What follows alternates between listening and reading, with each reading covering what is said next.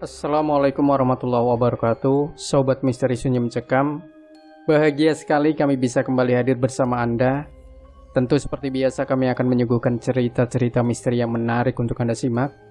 Dan kesempatan kali ini kami akan berbagi sebuah kisah nyata misteri yang berjudul Gara-gara berkata kotor dan melanggar aturan pendakian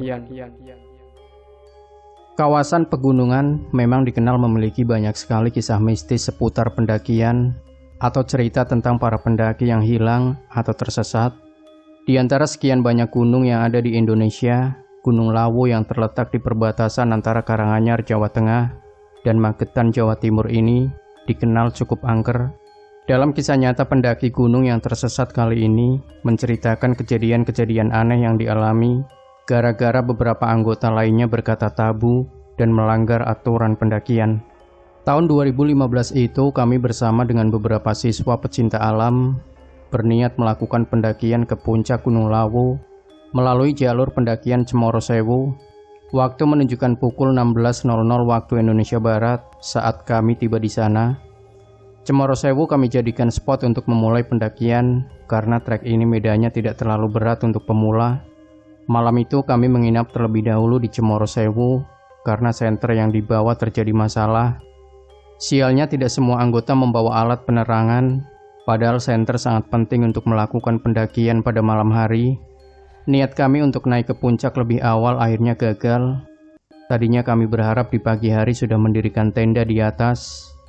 Maklum, tak jarang pendakian Gunung Lawu penuh sehingga banyak pendaki tidak kebagian tempat berkemah. Tapi karena ada masalah, jadi kami mengurungkan niat itu. Keesokan harinya pukul 8 pagi, kami bergegas untuk memulai pendakian. Untunglah pendakian kami lancar. Kira-kira pukul 14.00 kami sudah sampai di kawasan puncak. Benar saja, di puncak sudah dipenuhi tenda dari pendaki lain yang datang lebih awal. Setelah berputar-putar mencari spot yang kosong untuk mendirikan tenda, Akhirnya kita memutuskan memakai tempat yang sebenarnya tergolong berbahaya untuk mendirikan tenda. Kami mendirikan tenda di tempat dengan kemiringan 35 derajat dan tepat di tengahnya ada aliran air. Tapi apa boleh buat, sudah tak ada tempat kosong lagi. Toh ini hanya tempat istirahat siang dan langit juga sedang cerah, begitu pikir kami.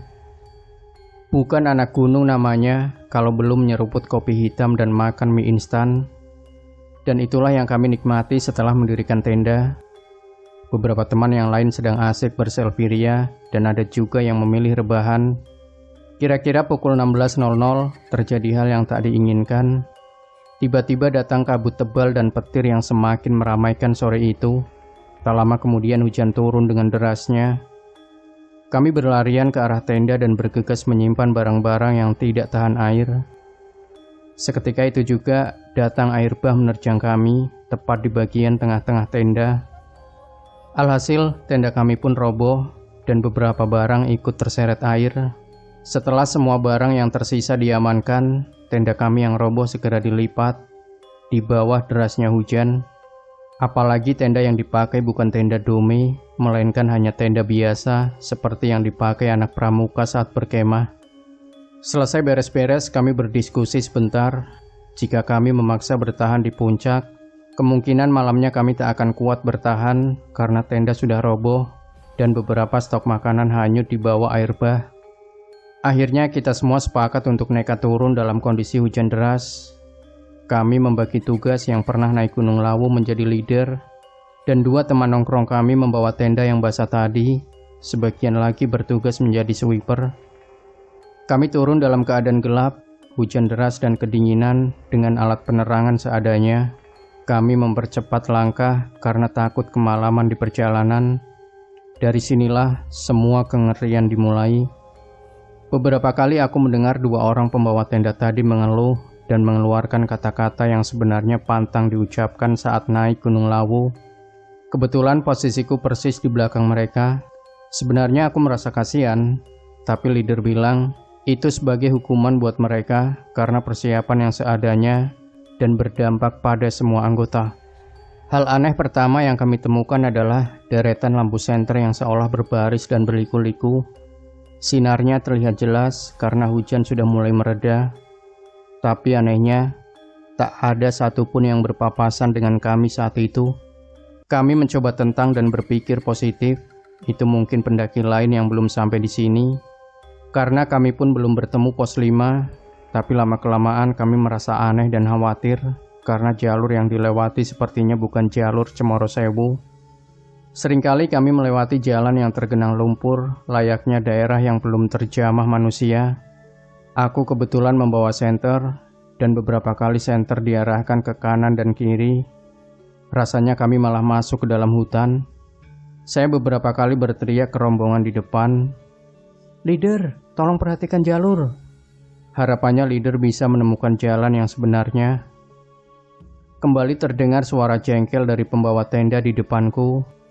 Meskipun aku tidak bisa melihat mereka karena gelap dan jaraknya agak berjauhan, tetapi aku ingat betul logo dan suara mereka Beberapa kali leader berteriak meminta pembawa tenda tidak berbicara seenaknya dan bersabar. Pengalaman horor pun dimulai saat aku merasa agak jauh dari teman-teman yang lain. Tiba-tiba aku disalip seorang pemuda dari belakang yang memakai celana jin pendek dan kaos oblong tanpa alat penerangan sama sekali. Aku sempat menyapa, "Mas, rombongan dari mana?" Namun pemuda itu menghiraukan aku dan terus berjalan tanpa menoleh. Ah, mungkin temannya ada di belakang, atau malah dia tertinggal dari rombongannya. Begitu pikirku waktu itu. Terus mengikuti arah leader, aku menyusuri jalan setapak dan berbatu. Tepat di sampingku adalah jurang yang kedalamannya tidak diketahui, karena saat aku mengarahkan senter ke sana, terlihat pemandangan gelap gulita dan tidak kelihatan dasarnya. Tiba-tiba aku melewati sekelompok orang yang duduk tepat di atas batu besar karena penerangan yang kurang, aku tak begitu jelas melihat mereka. Hanya hitam saja. Kalau tidak salah mereka ada empat orang. Dua di antaranya duduk di atas batu di tepi jurang dengan potongan rambut gondrong, sedangkan yang lainnya berdiri bersender di batu. Aku sempat mengarahkan senter ke arah batu besar itu dan melihat beberapa botol bir dan gelas air mineral yang isinya berwarna kekuningan di sekitar botol-botol itu berserakan kulit kacang. Sambil menyapa aku mencoba bertanya, Maaf mas, ini jalur Cemoro Sewu bukan? Mereka hanya sekedar mengangguk. Aku berpikir mungkin mereka sedang mabuk. Aku pun melanjutkan berjalan. Hal paling aneh pun terjadi. Kali ini kami berhenti di sebuah batu besar yang menempel di tebing. Leader bilang bahwa ternyata kami sedang dikerjain sama penunggu gaib di situ. Sebelumnya, leader ternyata telah memberikan tanda berupa coretan pada batu itu, dan dia sudah ketiga kalinya, dan dia sudah ketiga kalinya mencoretnya. Akhirnya kami berkumpul dan berdoa memohon pertolongan. Peringatan keras ditujukan kepada pembawa tenda yang sedari tadi mengeluh dan berbicara kotor. Selesai berdoa dan ritual meminta maaf, kami melanjutkan perjalanan. Benar saja, tak lama kemudian kami sampai di pos 5 di sana kami beristirahat sejenak untuk menenangkan diri dan mengisi perut yang sudah keroncongan. Sekitar pukul 3 dini hari, kami pun sampai di Cemoro Sewu. Di antara kami masih belum ada yang bercerita soal kejanggalan-kejanggalan yang terjadi selama turun dari Gunung Lawu. Barulah beberapa hari kemudian, kami bercerita tentang keanehan-keanehan yang dirasakan. Mereka ternyata juga mengalami beberapa kejadian mistis. Ada yang melihat wanita sedang berjalan di depannya dan ketika akan memanggil teman di belakang, sosoknya hilang tiba-tiba. Berbeda dengan leader, dia merasa kalau jalannya itu sama persis dengan jalan yang dilewati saat berangkat. Sebenarnya dia sudah berkali-kali diberitahu kok berlumpur begini, tapi dia hanya menjawab, "Ya, kalau mau enak di rumah saja." Meskipun sebenarnya dia sudah curiga sejak awal, dan dia juga beberapa kali mendengar suara aneh dari arah samping Terdengar suara seperti minta tolong, padahal di sampingnya itu jurang. Sempat juga terdengar suara hingar-bingar layaknya pasar. Mitosnya, itu adalah pasar setan Gunung Lawu yang tersohor itu. Demikianlah cerita misteri kali ini tentang pengalaman horor pendaki di Gunung Lawu.